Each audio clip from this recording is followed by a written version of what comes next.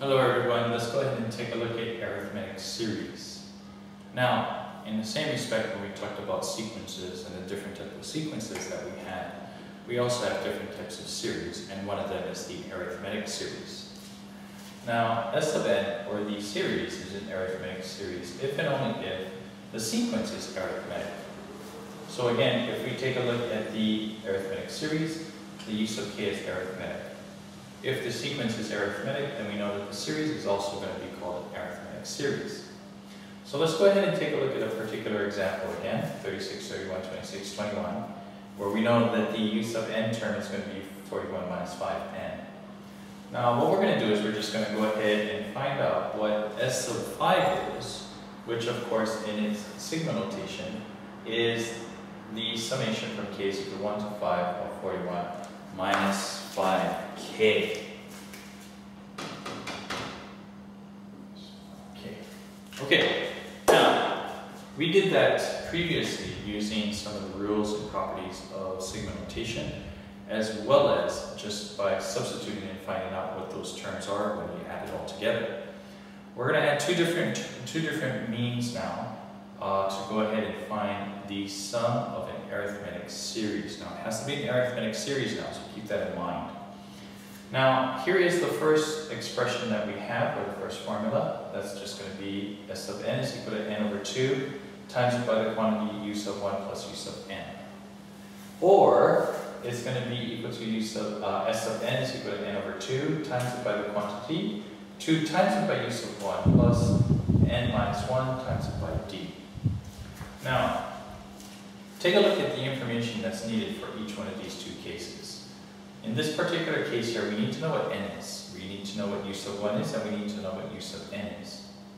In this particular case, though, we only need to know what u sub uh, n is, u sub 1 is, as well as what d is. So in this particular case, we don't need to know what that last term is.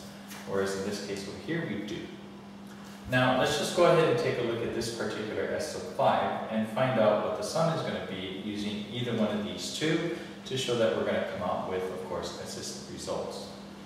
Now, in this particular case, if I use this initial statement to find the sum, the arithmetic series, I know that n is equal to 5, u sub 1 is equal to 36. And if I go ahead and need, if I need to find u sub 5, well, I know that the u sub n is going to be 41 minus 5 times n, so u sub 5 should be equal to 16. So if I substitute that into the formula here, I'm able to come out with s of 5 equaling 130. On this side here, again, notice I know what n is, I know what u sub 1 is, I need to find out what d is. Now the nice thing is that since I know that this is an arithmetic sequence, the d is just going to be this value right over here, which is the coefficient of the n, of the n. So what I have then is that d is going to be equal to negative 5. So now if I go ahead and take all of those values here, substitute it into this here, and do the mathematics, I will know I will come out with, again, the value of 130 or S sub 5. So basically now, in order for us to go ahead and calculate the series of an arithmetic sequence, or calculate the arithmetic series, I have four different ways that I can do so. I can use S sub n is equal to the sigma notation form and just expand it by finding all of the different values of the particular terms of the sequence and add all of those terms together. Or I can use some of the sigma notation properties as we did in previous exercises. Or I can use this S of n here, this formula right here, remembering that I need to know what n u sub 1 and u sub n is. Or I can use this formula here, again remembering that I need to know what n u sub 1 and d is. So now you have four different ways to go ahead and solve for an arithmetic series. So we'll go ahead and take a look at some examples the next time that we have class, and we'll see if anybody has any trouble actually determining the value of an arithmetic series. So see you next time. Bye-bye.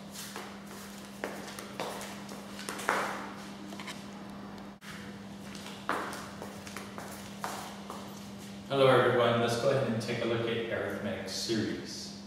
Now, in the same respect when we talked about sequences and the different types of sequences that we had, we also have different types of series, and one of them is the arithmetic series. Now, S sub n, or the series, is an arithmetic series if and only if the sequence is arithmetic. So again, if we take a look at the arithmetic series, the u sub k is arithmetic. If the sequence is arithmetic, then we know that the series is also going to be called an arithmetic series. So let's go ahead and take a look at a particular example again, 36, 31, 26, 21, where we know that the u sub n term is going to be 41 minus 5n. Now what we're going to do is we're just going to go ahead and find out what s sub 5 is, which of course in its sigma notation is the summation from k equal to 1 to 5 of 41 minus 5k. Okay.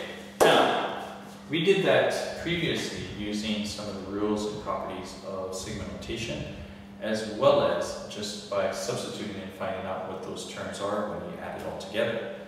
We're going to add two different, two different means now uh, to go ahead and find the sum of an arithmetic series. Now, it has to be an arithmetic series now, so keep that in mind.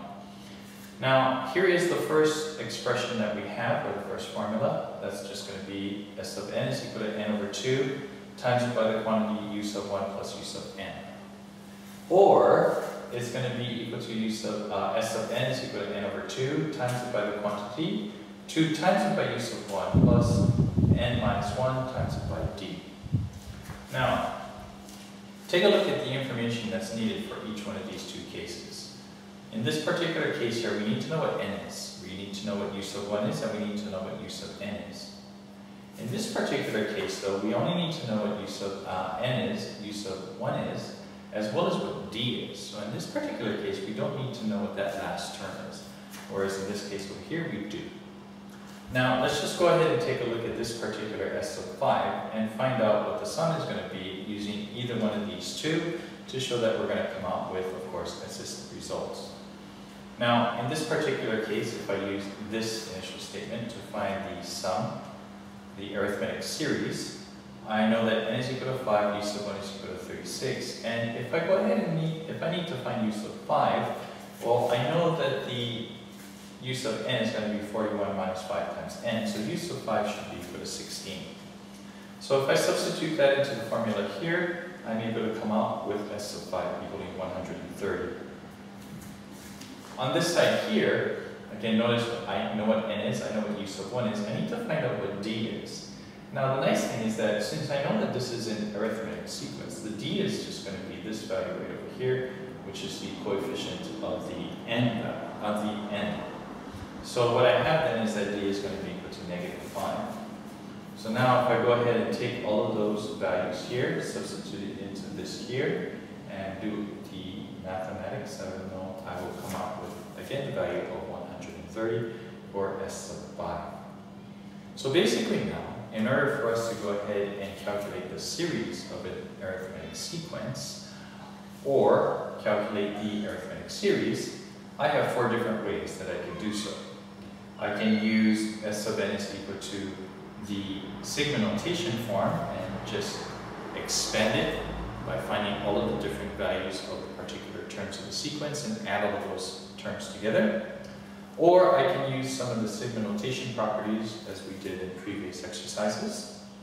Or I can use this S sub n here, this formula right here, remembering that I need to know what n u sub 1 and u sub n is. Or I can use this formula here, again remembering that I need to know what n, u sub 1, and d is. So now you have four different ways to go ahead and solve for an arithmetic series. So we'll go ahead and take a look at some examples the next time that we have class, and we'll see if anybody has any trouble actually determining the value of an arithmetic series.